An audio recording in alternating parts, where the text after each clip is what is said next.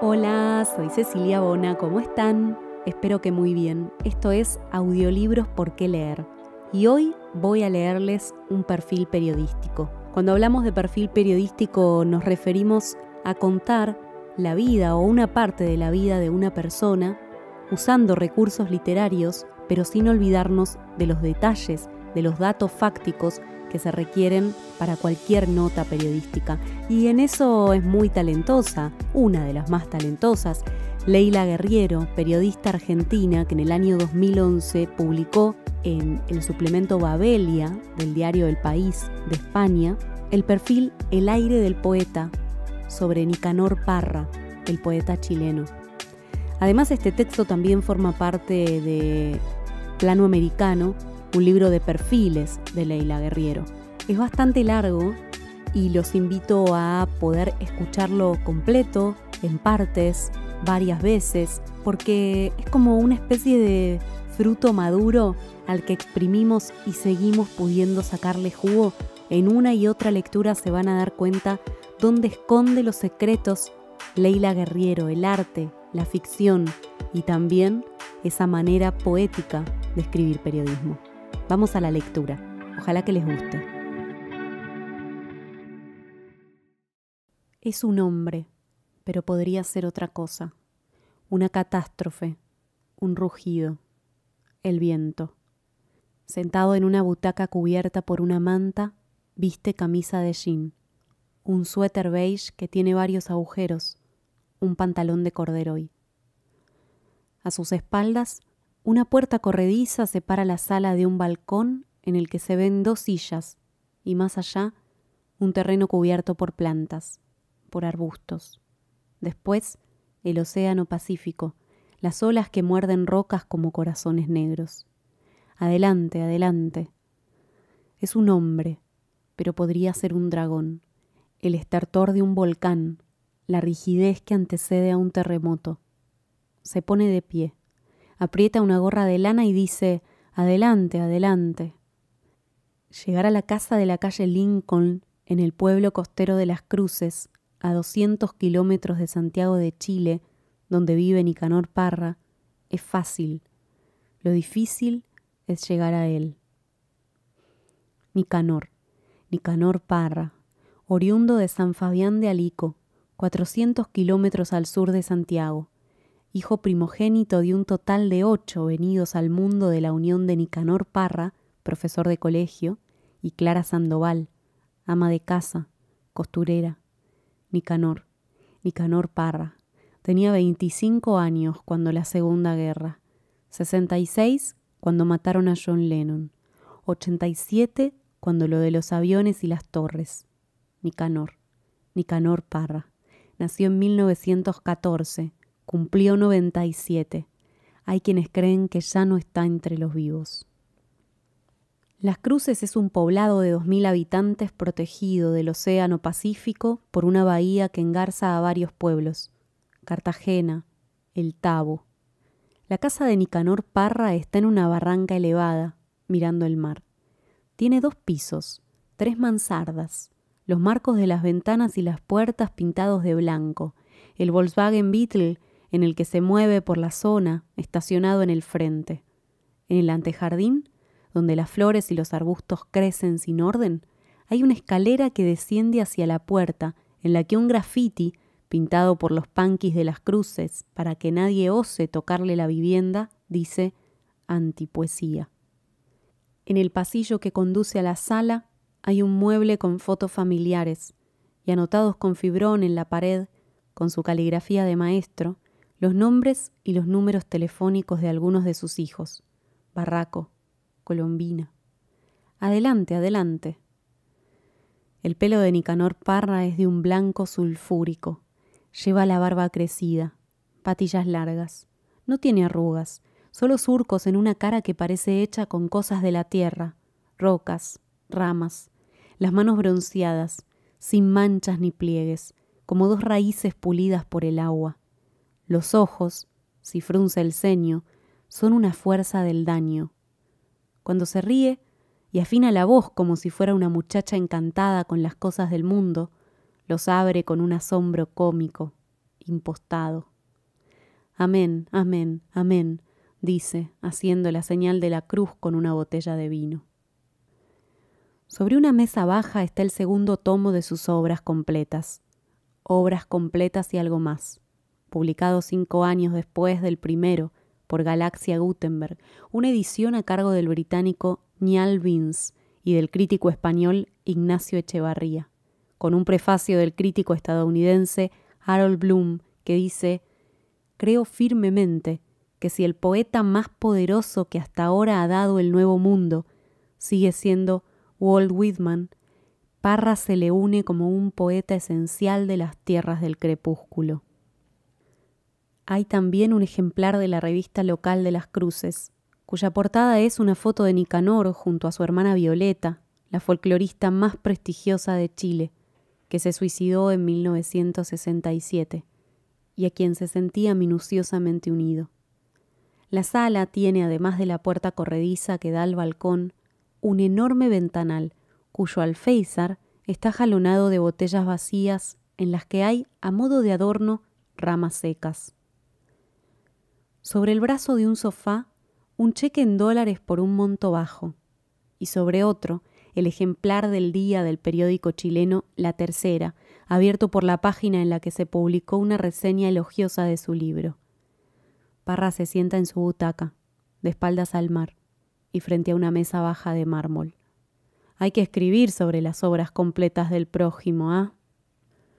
A fines de los ochenta, poco antes de mudarse a esta casa, cuando aún vivía en Santiago, dejó de dar entrevistas, y aunque siempre ha habido excepciones, las preguntas directas lo disgustan de formas impensadas, de modo que una conversación con él está sometida a una deriva incierta, con tópicos que repite, y a los que arriba, con cualquier excusa, sus nietos, el Código de Manú, un libro del siglo III antes de Cristo, el Tao Te King, Neruda, puede engarzar esos temas a título de las cosas más diversas, derivar en el Código de Manú a raíz de su viaje a la India, en sus nietos a raíz de Shakespeare o de la geografía.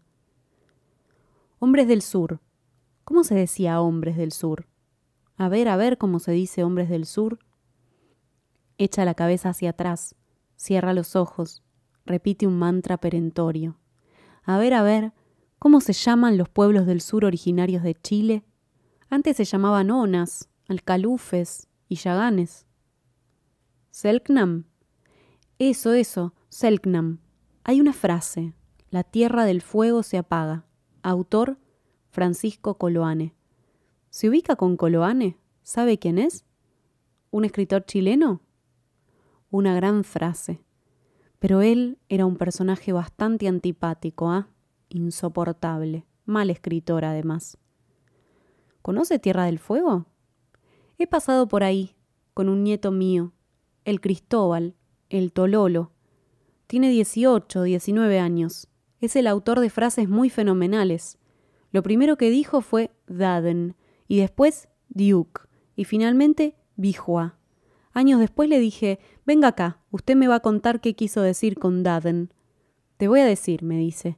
En ese tiempo yo estaba traduciendo el rey Lear y me paseaba de un lado a otro, y él estaba en su cuna, y yo recitaba el rey Lear. I thought the king had more affected the Duke of Albany than Cornwall. Y pensaba, ¿cómo traduzco? Y él ahí pescó el Duke. Shakespeare. Y le digo, ¿y el Daden? y me dijo, To be or not to be, that is the question.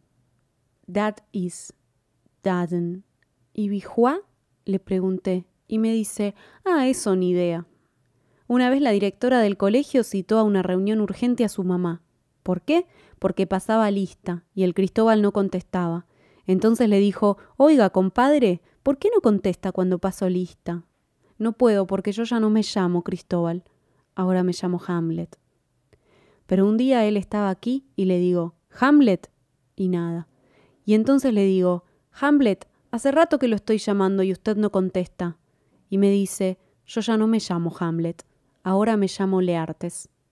Desde esa época yo renuncié a la literatura y me dedico a anotar las frases de los niños. La frase puede parecer un chiste, pero no. Parra anota cosas que dicen sus nietos, o Rosita Bendaño, que cocina y limpia en su casa desde hace años, o la gente que pasa por ahí, y todo termina en la engañosa sencillez de sus poemas. Después me quisieron mandar al colegio, donde estaban los niños enfermos, pero yo no les aguanté, porque no soy ninguna niña enferma. Me cuesta decir las palabras, pero no soy ninguna niña enferma. Escribió en Rosita Bendaño, publicado por primera vez en el número especial que en 2004 le dedicó la revista chilena The Clinic. Me interesan las frases del Tololo, o sea, por abajo, por abajo, nada de super yo, ni siquiera yo, ni siquiera super, ni siquiera... ¿Cómo se llama el de más abajo? ¿El ello? Eso, ni siquiera el ello. Pero atención, no hay que llegar al punto R. Hay países enteros que están en el punto R. Reptil, cocodrilo. ¿Ha estado en la India? Hasta los niños miran como cocodrilo. No hay mirada occidental allí. Estuve una semana, diez días. Yo no conocía el código de Manú. Si hubiera conocido el código de Manú, me quedo, porque más allá del código de Manú no hay nada. El último verso del código de Manú es el siguiente. ¿Por qué? se pregunta uno. Porque humillación más grande que existir no hay. Humillación más grande que existir no hay. Mira hacia el techo y cuenta las sílabas con los dedos, llevando el ritmo con los pies. Humillación más. Alejandrino, atención. Dice el código de Manú, las edades del hombre no son ni dos ni tres, sino cuatro. Primero, neófito. Segundo, galán. Tercero, anacoreta. Anacoreta. ¿Qué quiere decir eso? Que cuando nace el primer nieto, el hombre se retira del mundo. Renunciar al mundo es, primero, renunciar a la mujer. Nunca más mujer. Nunca más familia. Nunca más bienes materiales. Nunca más búsqueda de la fama. ¿Y la cuarta edad? Ah, la cuarta edad. Aceta o mariposa resplandeciente. Quien haya pasado por todas esas etapas será premiado cuando muera. Y para el que queda a medio camino, castigo. Resucitará como cucaracha o ratón de acequia. En cambio, el otro, el aceta, no resucita, porque no hay humillación más grande que existir. El mejor premio es borrarlo a uno del mapa. ¿Y entonces qué hace uno después de eso? Uno se va de la India y se viene a las cruces. No hay detalles, hay datos. Tuve una infancia con privaciones y mudanzas, de San Fabián a Lautaro, de ahí a Chillán, de ahí a Santiago y de regreso a Chillán, de la que recuerda la falta de dinero y las peleas entre sus padres. Siempre escribió poemas y a los 16 o 17 partió a Santiago, solo. Gracias a una beca en la Liga de Estudiantes Pobres, terminó los estudios en el Internado Nacional Barros Arana, el mayor de una saga de hermanos de oficios varios, desde Violeta y Roberto, músicos próceres, hasta Tony Canarito, payaso que andaba por las calles ganando la moneda. Acogió en su casa y ayudó a los que, de ellos, quisieron mudarse a Santiago, inaugurando un rol que desempeñaría para siempre, tótem familiar. Como tenía notas muy altas en materias humanísticas y no en ciencias exactas, su natural competitivo, cuentan que durante un festival Chile Poesía libró y ganó una despiadada guerra de pasos de tortuga con Gonzalo Rojas por ver quién llegaba último al estrado para llevarse todos los aplausos, lo empujó a estudiar matemáticas y física en la Universidad de Chile para demostrarles a todos esos desgraciados que no sabían nada de matemáticas. En 1938, mientras se ganaba la vida como profesor, publicó Cancionero sin nombre, su primer libro. En 1943 viajó a Estados Unidos para estudiar mecánica avanzada en la Universidad de Brown. En 1949 a Inglaterra para estudiar cosmología. Desde 1951 enseñó matemáticas y física en la Universidad de Chile. Y en 1954 publicó un libro que cambiaría todo, todo, la poesía en castellano, para siempre. Nicanor Parra vive dentro de un método, duerme muchas horas, come siempre lo mismo, sopas, cazuela, arrollado, escribe con una lapicera común de punta gruesa en cuadernos comunes de tapas negras. Toma toneladas de ácido ascórbico, siguiendo la teoría del premio Nobel Linus Pauling, que en los años 50 propició la cura de todos los males con la ingesta masiva de vitamina C. Tiene asma, jamás bebió en exceso, no fuma, no consume drogas y es, desde los años 60, ecologista. Los fines de semana lo visitan sus hijos, sus nietos y amigos jóvenes con los que suele almorzar en restaurantes de la zona. A ver, a ver, ¿cómo era? Bajando de Machu Picchu, Perlas Chayay, me enamoré de una chola, Chihuas Chayay, más linda que una vicuña, Perlas Chayay, pero ella no me hizo caso, palomita. El poema se llama Amor no correspondido. Es suyo, de los años ochenta, y lo recita entero, sin errar. ¡Qué memoria! En Chillán yo tendría trece años, catorce máximo. Estaba en un sitio con mis compañeros de curso. Ellos no sabían que yo estaba ahí. Y uno le dijo al otro, inteligente, parra, ¿ah? Y el otro le dice, memorión, querrás decir, huevón. Era una ofensa que le dijeran memorión a uno. Tenía poco menos de cuarenta cuando empezó a escribir poemas utilizando un lenguaje simple, pero no ramplón, en el que no había ninfas, ni princesas, ni tritones, y en 1954 los publicó en un libro llamado Poemas y Antipoemas, en el que con un lenguaje de apariencia simple, pero con un tratamiento muy sofisticado, revolucionó la poesía hispanoamericana. Ni muy listo, ni tonto de remate, fui lo que fui, una mezcla de vinagre y de aceite de comer, un embutido de ángel y bestia. El libro llevaba prólogo de Neruda, con quien Parra tendría una relación cargada de contradicciones, entre otras cosas, porque su obra empezó a leerse como una reacción a cualquier forma de poesía ampulosa. Fue recibida con elogios altos, divagaciones extrañas, casi en prosa, mantenidas a fuerza de ritmo y con una especie de embrujo, son clarísimas parecen elementales, eso las vuelve más misteriosas, decía Alone, el crítico más prestigioso de Chile por entonces. Siguió a eso una época pródiga. Publicó La Cueca Larga en 1958, Versos de Salón en 1962. Durante medio siglo la poesía fue el paraíso del tonto solemne, hasta que vine yo y me instalé con mi montaña rusa. Suban, si les parece. Claro que yo no respondo si bajan, echando sangre por boca y narices. Manifiesto en 1963, Canciones rusas en 1967. En 1969 ganó el Premio Nacional de Literatura y publicó su obra completa en obra gruesa.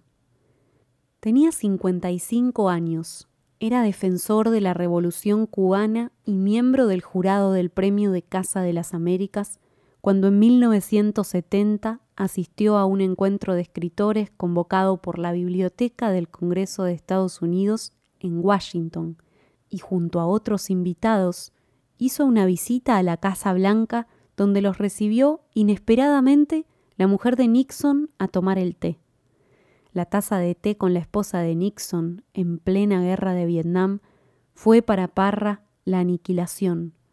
Casa de las Américas lo inhabilitó para actuar como jurado, y le llovieron insultos de los que se defendió con un comunicado que decía apelo a la justicia revolucionaria, solicito la rehabilitación urgente, viva la lucha antiimperialista de los pueblos oprimidos, viva la revolución cubana.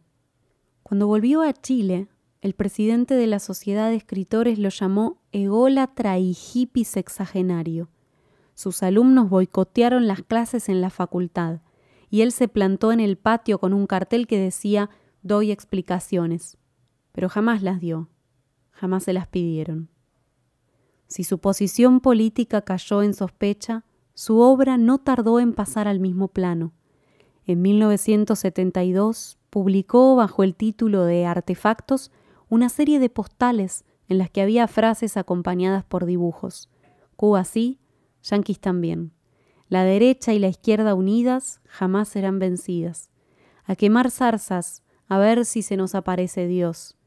Casa Blanca, Casa de las Américas, Casa de Orates. Los más amables dijeron que eso no era poesía, los menos que era la mejor propaganda que los fascistas podían conseguir.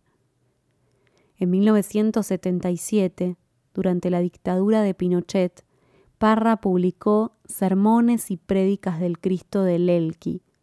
Apuesto mi cabeza a que nadie se ríe como yo cuando los filisteos lo torturan.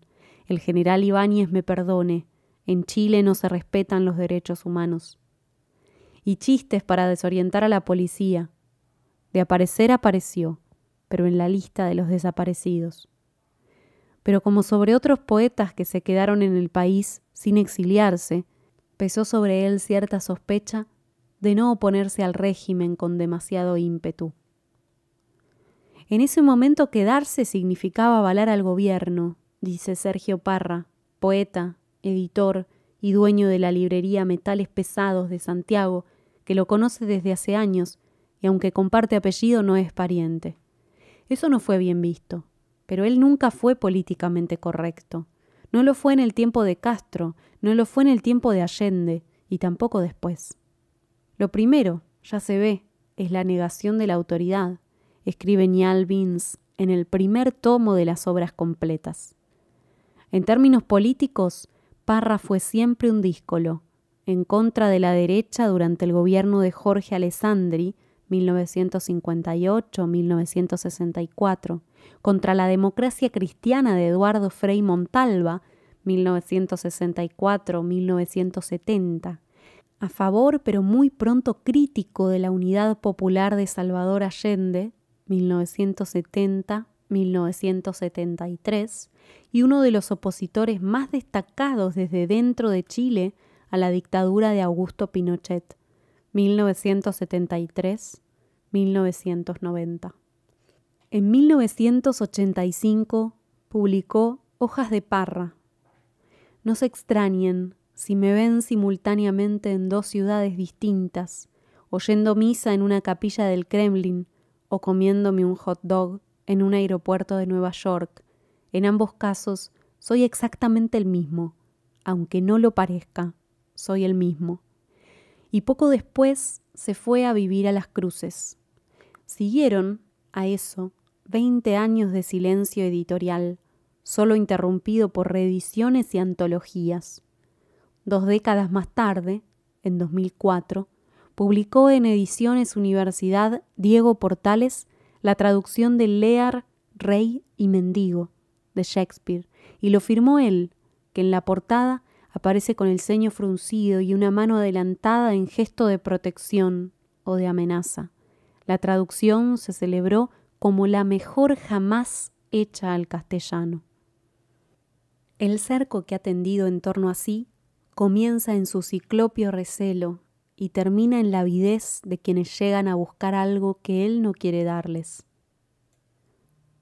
Durante once años y hasta 2008 recibió en su casa a un hombre llamado Víctor Jiménez, que grabó todos esos encuentros con una cámara oculta y estrenó este año basándose en ese material, una película llamada Retrato de un antipoeta. Una vez me aparecieron dos aquí, una preciosura rubia y una morena.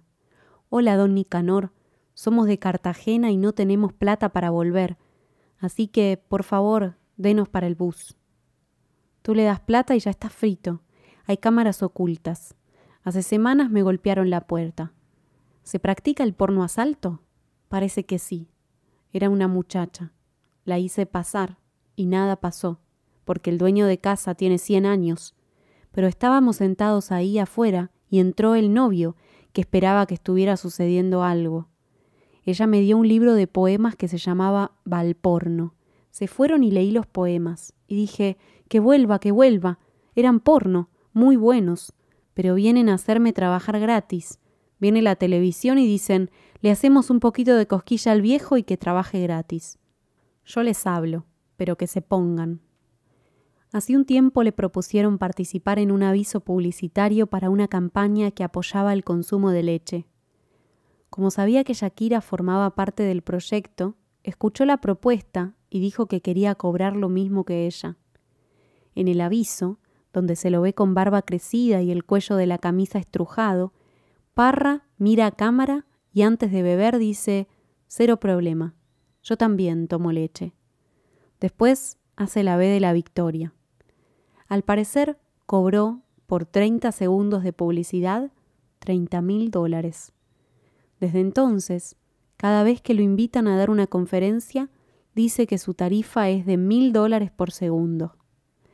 Se sabe que a un editor llegó a pedirle un adelanto de 4 millones de dólares, con el argumento de que eso era lo que había cobrado Clinton por escribir su biografía. Pero yo soy más importante, porque los políticos pasan, pero los poetas quedan. Su interés por el dinero podría ser una rémora de aquella juventud de privaciones, o una forma de hacerse inalcanzable, o una conciencia muy contemporánea de cuál es su valor.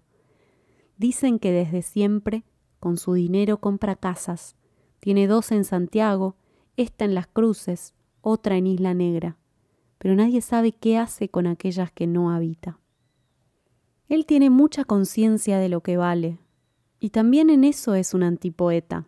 Eso no es lo que se espera de un poeta. Matías Rivas es poeta, director de ediciones Universidad Diego Portales, y se acercó a Parra para proponerle publicar la traducción de Lear después de aquellos veinte años de silencio. Con él no puedes pretender cerrar un negocio en un almuerzo, tiene que entablar una relación de confianza. Después que publicamos El Rey Lear, entró en la universidad y eran miles de jóvenes detrás de él. Volvió convertido en un rockstar. Los publicistas andan detrás como desesperados. Es mucho más cool para una marca de jeans tener a Nicanor Parra que al mejor modelo chileno. Porque es cool. Pero es cool de verdad. No es impostado. Es una luminaria. No es un ancianito. Está más vivo y despierto que uno por eso los interlocutores de su edad, o un poco menores, se quedan espantados con los artefactos. Nicanor está en la onda punk o heavy metal, y los interlocutores más viejos llegaron hasta su onda jazz. Más vale nuevo que bueno, dice él. La frase no es una declamación vacía. Hace poco Parra escribió un rap, el rap de la Sagrada Familia, que cuenta la relación entre un viejo y un estudiante. En una aldea maldita, con ínfulas de ciudad, un viejo se enamoró de una menor de edad. El viejo rejuvenece de pura felicidad y para alargar el cuento se casa con la beldad. Jesús de los afligidos, hágase tu voluntad. Y su producción de artefactos, que ahora acompaña con el dibujo de un corazón con ojos, no solo no ha dejado de crecer, sino que se le han agregado los trabajos prácticos, objetos intervenidos como una botella de Coca-Cola con un cartel que dice mensaje en una botella, una cruz donde en vez de Cristo hay un cartel que reza voy y vuelvo, o una foto de Bolaño con una cita de Hamlet, Good night, sweet prince. Me acuerdo que fuimos a su casa de la reina y tenía en la pared dos portadas del diario La Segunda. Una decía Se suicidó Laura Allende, la hermana de Allende. La otra decía Baleado el Papa, dice Roberto Merino, crítico y escritor chileno. Yo creo que él desarmó la retórica de la poesía e impuso otro tipo de lenguajes. Echa luz sobre cosas que no existían antes de que se escribiera sobre ellas cierta metafísica corriente de la vida en la ciudad. No sé, meter una fuente de soda en un poema. Hasta entonces ningún poeta hubiera metido una fuente de soda en un poema. Los poetas hablaban desde las alturas del monte Sinaí, pero Parra habla desde otro lugar, Igual hay algo engañoso ahí, porque no creo que sea poesía popular. El texto está puesto al servicio de algo muy sofisticado. Creo que la creencia de que es popular viene a partir de los artefactos, que funcionan como eslogans ingeniosos. Si Parra fuera eso, nada más, yo tendría que cambiar mi pensamiento. Pero cuando tú lees sus poemas, ves que es un poeta que tiene enorme sensibilidad con las palabras. El día está despejado, limpio como una bandeja. Parra habla con comodidad en inglés, en francés, sabe algo de ruso, tradujo con ayuda una antología de poesía rusa. Ahora recita un texto tradicional en mapugundún, el idioma mapuche, haciendo una traducción simultánea. Ahora diré, en la primera frase, creo que ya estoy viejo. Segunda frase, me parece que ya crucé los ochenta. Y el último es divertido, dice o digo todo o me quedo callado. El otro día lo estuve comparando con la primera estrofa de la Ilíada. A ver, ¿cómo empieza la Ilíada? Canta, oh musa, la cólera. Pero en griego, por favor, en griego. A ver, a ver. Parra recita el comienzo de la Ilíada, contando los hexámetros dactílicos, golpeando el piso con los pies enfundados en zapatones de cazador de patos. Yo pensaba hacer una traducción de Hamlet al mapudungún, sin acento de Oxford. El acento de Oxford sirve nada más que para defenderse de los franceses. Parra aún conserva modales o gestos que pueden ser interpretados como infantiles, dice el crítico chileno Juan Manuel Vial. Cuando se entusiasma con una idea o una ocurrencia, propia o ajena, comienza a zapatear de excitación. Esto solo lo he observado cuando está sentado, lo que produce cierto estruendo sobre el suelo de madera de su casa, sobre todo al ser un zapatón el causante de la vibración sonora. El adjetivo que Parra ocupa en esos momentos reveladores es qué simpático. En su charla, ese es el adjetivo supremo. Siempre está esperando que su interlocutor adivine lo que él está pensando. Siempre te está testeando, soltando pequeñas pistas, ya sea con pruebas de ingenio rápido o con inquisiciones soterradas que apuntan a la alta literatura. Sin embargo, nunca te hace sentir incómodo por eso. Es, podría decirse, un ejercicio útil para sus propios registros. Aún el ignorante, mi caso, que percibe la jugarreta, no se siente intimidado. Tiene una fascinación por los versos isabelinos pícaros o por jueguitos de palabras en inglés, siempre de carácter ligeramente sexual. En cierta ocasión, celebró el siguiente con un entusiasmado qué simpático. There was a young girl of Balboa who had lots of fun with a boa. She thought she could get it, all in if she wet it, in oceans of spermatozoa. Parra cree que el útero es una cavidad de fondo insondable. Sus capacidades sexuales son míticas. Pienso por un instante, escribe Hernán Valdés en el libro Fantasmas Literarios, una convocación, Aguilar, 2005, en los rumores sobre su vida privada, una primera mujer abandonada a una suerte miserable, cuántas sórdidas historias de la vida de cada cual que callaremos o que transformaremos cínicamente en literatura. No hay detalles, hay datos. Se casó en 1940 con Anita Troncoso. Fue padre de Catalina en 1943, de Panchita en 1945 se casó en 1951 con la sueca Ingra Palmen. Se enredó con la sueca San Axelsson, que declaró años después que él la maltrataba. Tuvo un hijo con Rosita Muñoz, que fue además su empleada. Formó pareja con Nuri Tuca, con quien tuvo a Colombina y Juan de Dios. En 1978 conoció a Ana María Molinare. Él tenía 64 ella 32. Estuvieron juntos no se sabe cuánto, pero al parecer ella se fue y él mordió el polvo. El Tao Te King, nunca dice cómo, lo salvó. En esa época escribió uno de sus poemas más conocidos, un mantra majestuoso llamado El hombre imaginario. El hombre imaginario vive en una mansión imaginaria, rodeada de árboles imaginarios, a la orilla de un río imaginario. De los muros, que son imaginarios, penden antiguos cuadros imaginarios, irreparables grietas imaginarias, que representan hechos imaginarios, ocurridos en mundo imaginario, en lugares y tiempos imaginarios. Tres años después, Ana María Molinares se suicidó, arrojándose desde un octavo piso, y eso dejó en Parra una huella feroz. En conversaciones con Nicanor Parra, de Leónidas Morales, Tajamar 2006, él dijo, era yo quien debió haber hecho lo que ella hizo. A mediados de los 90 conoció a Andrea Lodeiro, a quien llevaba varias décadas, al menos cinco, quizás seis, con quien estuvo hasta 1998. Desde entonces, en el gesto exactamente opuesto al de otros escritores de su edad, permanece más o menos solo. Lo que yo necesito urgentemente es una María Kodama que se haga cargo de la biblioteca. Con una viuda joven en el horizonte, el tiempo no transcurre. El ataúd se ve color de rosa, hasta los dolores de guata provocados por los académicos de Estocolmo, desaparecen como por encanto. Escribió en poemas para combatir la calvicie.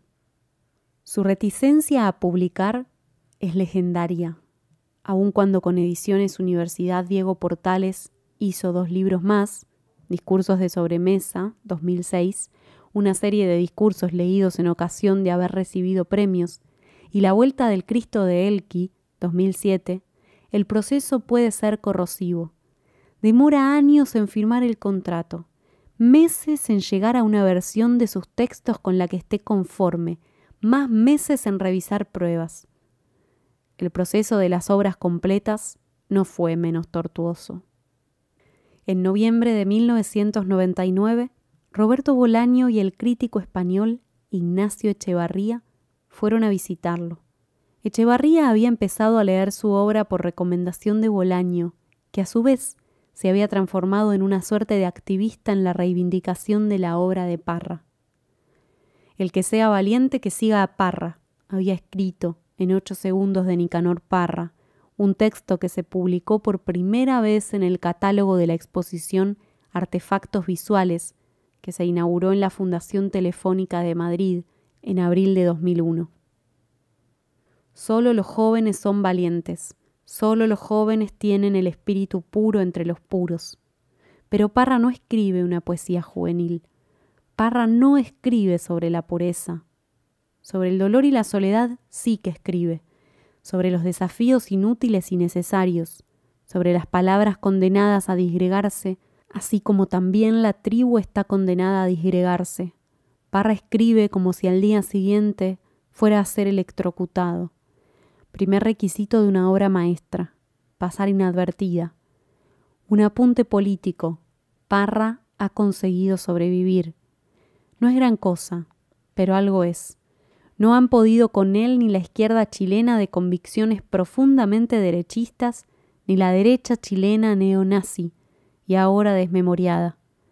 No han podido con él la izquierda latinoamericana neoestalinista, ni la derecha latinoamericana ahora globalizada y hasta hace poco cómplice silenciosa de la represión y el genocidio. No han podido con él ni los mediocres profesores latinoamericanos que pululan por los campus de las universidades norteamericanas, ni los zombis que pasean por la aldea de Santiago. Ni siquiera los seguidores de Parra han podido con Parra. Nos recibió y fuimos a comer a un restaurante, dice Ignacio Echevarría desde España. Ya en Barcelona, Roberto, medio en broma, me sugirió que hiciera las obras completas de Parra. Todo el mundo me dijo que era imposible, que era un proyecto que había tenido muchos intentos fallidos. Se lo propuse y empezó pidiéndome muchísimo dinero, pero dijo que estaba dispuesto. Pero luego yo le enviaba un contrato, él lo tenía seis meses, yo se lo reclamaba y me decía que lo había perdido, o ponía una mínima objeción y había que mandarle otro. Tres años pasaron hasta que un día, luego de la muerte de Bolaño, viajé a Chile, lo visité y para mi sorpresa me dijo, ¿Sabes, Ignacio? Voy a firmar el contrato. A Roberto le hubiera gustado, ¿verdad? Vamos a hacerlo por Roberto. Pero conforme he ido avanzando, he ido sintiendo un escrúpulo cada vez mayor por haber obligado a Parra a hacer algo que él no quería hacer. Él concibe la antipoesía como algo que se escribe en un muro, en una servilleta, y creo que la idea de las obras completas le repugna. Otra cosa es que le ganara eso que todos tenemos, y que Parra tiene más que ninguno, que es la vanidad, en este caso de ser editado en la misma colección en la que están Franz Kafka o Neruda. Al principio del primer tomo le consulté muchas cosas, y cada consulta demoraba meses, y él solo ponía problemas. Después ya no le consulté nada más, y creo que él agradeció que esto sucediera a sus espaldas. Me dijo, mira, si yo me meto en esto, nunca lo haré. En el baño, colgada de un clavo sobre el inodoro, hay una bandeja de cartón, de las que se utilizan en las confiterías, que dice con letra de parra, no tire el papel en la taza del váter. En la sala Parra toma té mientras recita en griego los primeros versos de la Ilíada y lleva el ritmo de los hexámetros dactílicos golpeando el piso con los pies enfundados en zapatones de cazador de patos. Si alguna vez usó prolijos trajes y corbatas, en sus años altos empezó a cultivar una imagen desmañada, comprando la ropa en un mercado de segunda mano de San Antonio, un puerto rufián por el que se mueve cómodo, como en todas partes. Cuando tiempo atrás desaparecieron algunos de los cuadernos en los que escribe, y supo que unos dealers locales los habían recibido en forma de pago, marchó a buscarlos con un par de amigos y le fueron devueltos con disculpas. Cuando el té se enfría, echa la cabeza hacia atrás y se coloca la bolsa de té sobre el ojo derecho. Tengo algo en el ojo derecho, pero me estoy mejorando. Con esto se cura. Remedios caseros. La vez pasada me fui corriendo de la clínica en Santiago. El médico, el urólogo, me dijo Prepárese, compadre, porque mañana es la intervención quirúrgica. Y le dije ¿De qué se trata? Y me dijo Es una simple citología. Y entonces le dije Prefiero morirme. Deme de alta inmediatamente, de lo contrario salto por esa ventana. Y yo iba a saltar. Vuelve a sumergir la bolsa de té en la taza y otra vez se la coloca sobre el ojo. La mamá de la Violeta Parra tuvo diez hijos y jamás supimos de médicos, y gracias a eso morimos a los cien años. Claro que la Violeta a cierta altura cometió el error de ir al médico. Hay que decir que Violeta Parra se suicidó.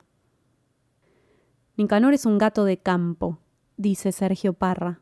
Tiene esa cosa campesina de medir al otro, de que hay que ganarse la confianza. Me acuerdo que una vez estábamos en su casa y él se fue a buscar sus cuadernos. Me dijo, te voy a leer unos textos. Y de pronto se dio vuelta y me dijo, pero sin moverse, ¿ah? Pero siempre fue muy generoso. Me aconsejaba, me decía que aunque tuviera un solo pantalón, tuviera dos o tres camisas para ir siempre prolijo, que tuviera ahorros, porque el dinero te da libertad, te da independencia, tiene terror a la precariedad, él te pone en la mesa unos cuadernos suyos y te pregunta ¿cuánto costaría esto, ah? Yo lo vi dos veces a Rulfo. Las dos veces fue un desastre. Una vez en Chichen Itza. Era un viaje de escritores. Me dicen, ese que está nadando ahí en la piscina es Rulfo. Y yo dije, ¿qué se puede hacer? Eso fue todo.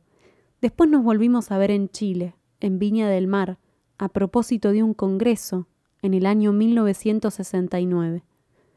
Se me acerca un señor y me dice, Amigo Parra, me parece maravilloso el poema que usted ha publicado en el periódico sobre la plaza de Tlatelolco.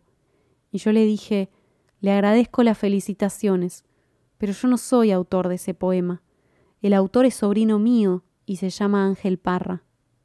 Mire, acabo de descubrir en mi biblioteca un libro que se llama El libro del desasosiego de Pessoa. Eso ya no corre. Ese tipo de chiste, de los heterónimos, ya, compadre, ya. Hay gente que se lo toma en serio. Pero me lo explico. Me lo explico, ¿eh? Sobre todo, por lo menos, por un poema que es insuperable. Dice, todas las cartas de amor son ridículas. Si no fueran ridículas, no serían cartas de amor. Y sigue diciendo, yo también en mi tiempo escribí cartas de amor, como las otras, ridículas. Pero con el tiempo, dice, se ve que lo ridículo no eran las cartas de amor, sino los que pensaban que las cartas de amor eran ridículas. Y después dice, ah, ¿quién pudiera volver a ese tiempo en que escribía cartas de amor ridículas? Pero pensándolo bien, dice, las cartas de amor como las palabras esdrújulas son necesariamente ridículas. Mire usted las volteretas que se da, saltos mortales para adelante y para atrás, como esas poetisas argentinas. ¿Cuáles? Hay varias, varias. La María Elena, la María Elena Walsh, claro. A ver, hay otras. Alejandra Pizarnik. Ah, la Pizarnik. Fantástica. ¿Y cuál de ellas es la autora de La vaca estudiosa? María Elena Walsh es una autora argentina, fallecida en 2010, que se dedicó, aunque no únicamente, a componer canciones y escribir para niños, rama en la que tuvo el más alto de los prestigios, pero en cualquier caso es dueña de una obra muy distinta a la de Alejandra Pizarnik, una poeta oscura que se suicidó en 1972. La vaca estudiosa es una canción de María Elena Walsh que cuenta la historia de una vaca que quería estudiar y dice, había una vez una vaca en la quebrada de Humahuaca, como era muy vieja, muy vieja, estaba sorda de una oreja. ¿Usted la sabe? pregunta Parra. Sí, pero solo la recuerdo si puedo cantarla. A ver. Parra escucha, inclinado en su silla, y al final dice con entusiasmo, Ah, qué maravilla. Y fíjese que dice que para matar el aburrimiento la vaca se matricula en una escuela de primeras letras y a los niños les llama la atención. Entonces ella dice, no, yo me comprometo a ser una vaca estudiosa. No, la María Elena, estamos cien por ciento con ella. Tiene esa cosa ladina, Nicanor, de descalificar, pero sin estridencias, susurrando. Dice el escritor chileno Alejandro Zambra, que trabajó con Nicanor Parra en el proceso del rey Lear. No te va a hablar mal de Neruda, por ejemplo, pero te va a contar algo que te va a hacer solidarizar con él y no con Neruda.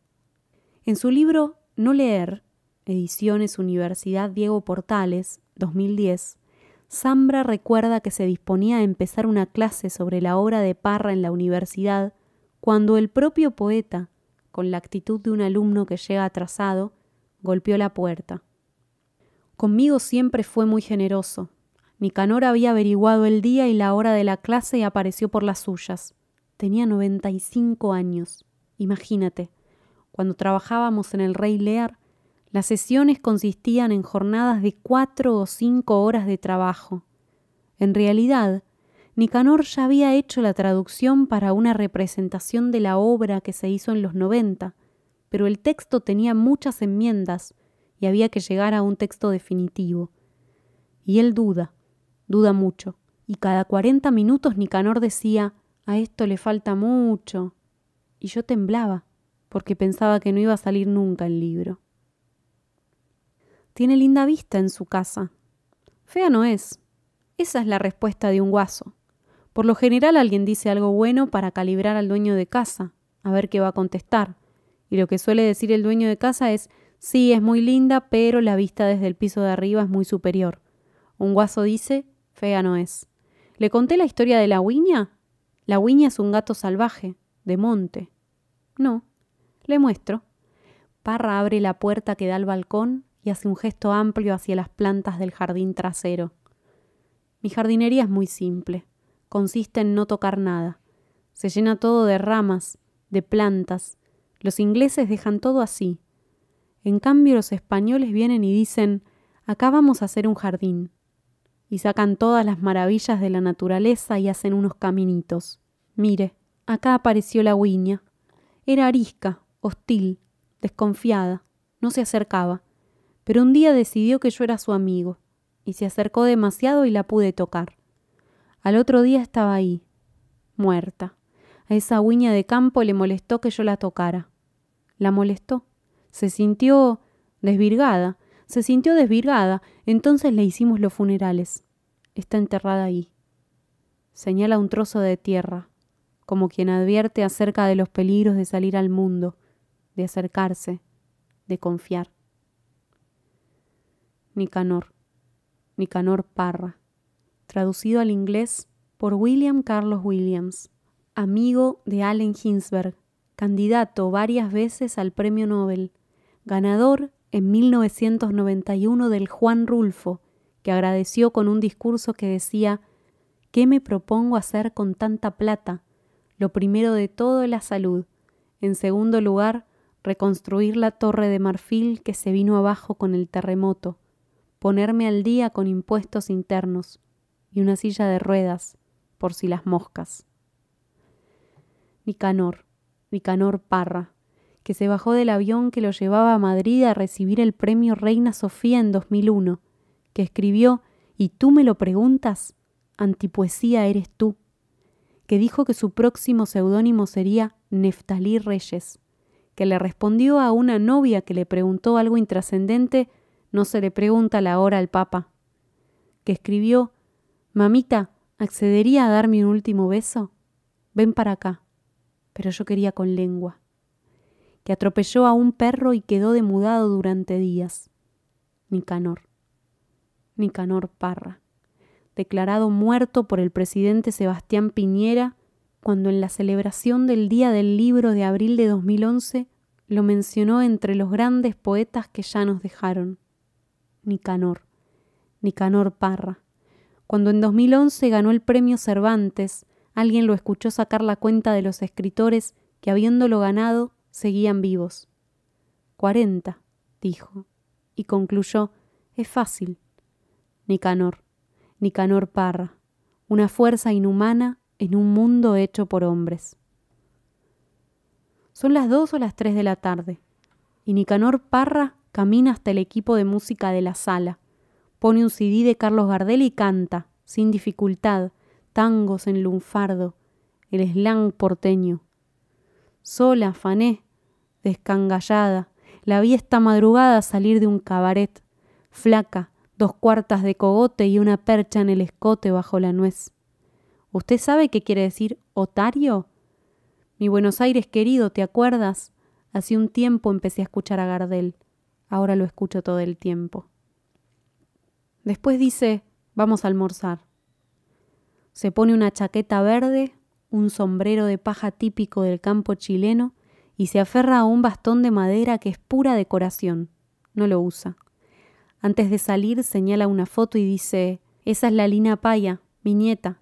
Siempre se las arreglaba para dejar callado al abuelo. Entonces dije tengo que inventar algo para dejarla yo callada a ella una vez. Y le dije lo siguiente ¿Se acuerda usted, mi hijita linda, del momento en que estaba naciendo? Ella me dice Sí, porque tengo buena memoria y entonces me dije, insistamos. Y le dije, a ver, cuénteme. Y me miró y me dijo, no te lo digo. No te lo digo. ¿Cuántos hijos tiene? Seis, se supone. Madre hay una sola. En el auto, camino al restaurante, mira por la ventanilla y dice divertido, he estado no sé cuántas veces en Buenos Aires y siempre salgo mal.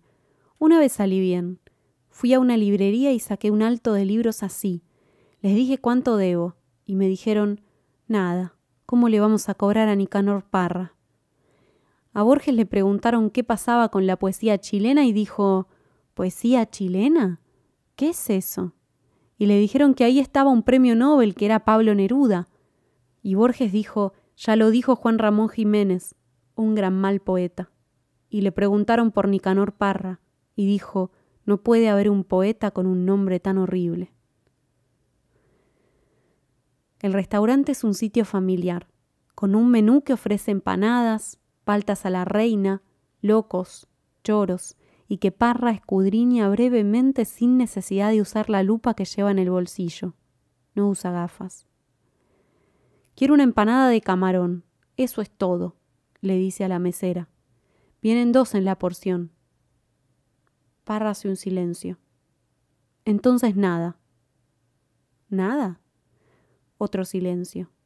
Tiene razón, dos empanadas. Dos de camarón y queso, anota la mesera.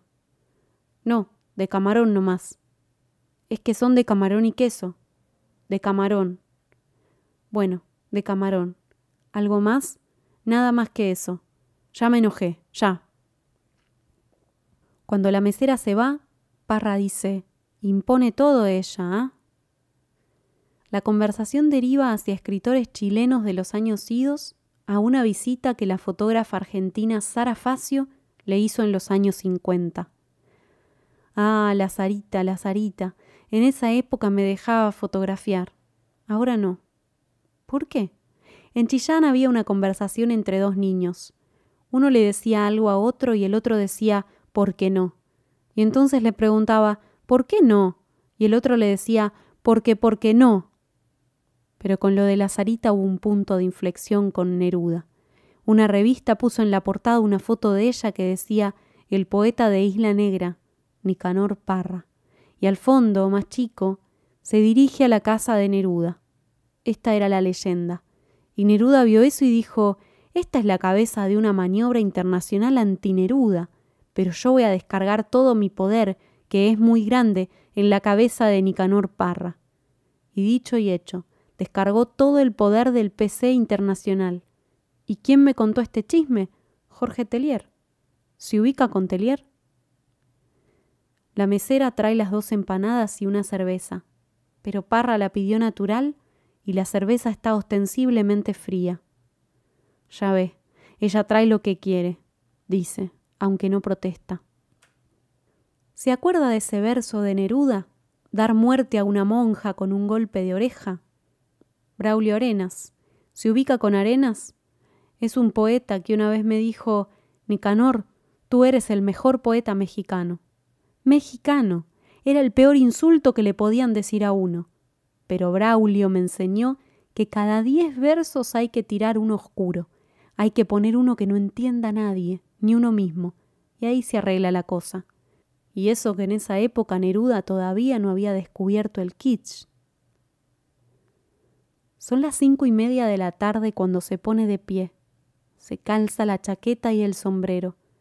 Toma el bastón y antes de salir busca con la mirada a la camarera hasta que la descubre almorzando con sus compañeros en una mesa del fondo. Con el tono de quien dice adiós y buenas tardes, con voz educadísima, Parra levanta un brazo y dice Heil Hitler. Y los ocupantes de la mesa sin pensar responden Heil Hitler. Después camina tranquilo hacia la puerta. En la vereda pregunta, ¿contestaron? Sí. ¿Ve? Lo importante es el tono en que usted lo dice. Ya en el auto, de regreso a su casa, mira el paisaje, señala una colina. Es bien interesante ese sitio. Hay un cementerio de automóviles, un desarmadero. Me gusta ir ahí. ¿Está contento con las obras completas? Estoy sorprendido. Yo leo esos poemas y no me siento el autor. Pienso que nunca fui el autor de nada porque siempre he pescado cosas que andaban en el aire. Se decía eso, cosas que andaban en el aire. El asfalto se desliza terso entre los pinos y el mar, bajo una luz suave. Bonito, ¿ah? Como para quedarse a vivir. O sea, a morir. Algo en la tarde recuerda la respiración plácida de un animal dormido. Fíjese todo lo que han hecho y no han podido resolver ese asunto. ¿Qué asunto? El de la muerte. Han resuelto otras cosas. Pero ¿por qué no se concentran en eso?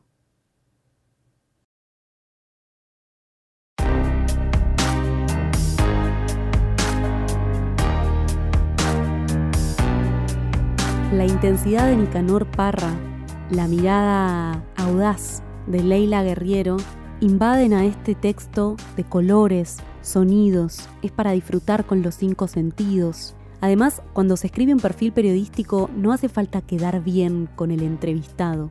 Y acá hay como todo el tiempo una intención de describir quién es el personaje, cómo actúa, cómo responde, qué ha hecho. Ojalá que les haya gustado, a mí me encantaría que me lo puedan compartir en mis redes sociales. Me encuentran como arroba porque leer. Y si tienen ganas, pueden escribirme por mensaje directo, en las publicaciones o incluso en el canal de YouTube qué les pasó con este texto. Y si quieren, si tienen ganas, si pueden, los invito siempre a transformarse en patrocinadores de por qué leer. A este proyecto le hace muy bien. Necesito siempre el acompañamiento de mecenas que quieran apoyar económicamente. Así que ya saben, en la descripción de este episodio y en todos los demás van a encontrarse distintos links o de Patreon, Cafecito, Mercado Pago Cualquiera de las opciones ayuda un montón. Incluso si quieren patrocinar el contenido con una marca, auspiciarlo con su negocio, su emprendimiento, también pueden escribirme y lo charlamos. Les mando un abrazo muy fuerte. Hasta la próxima lectura.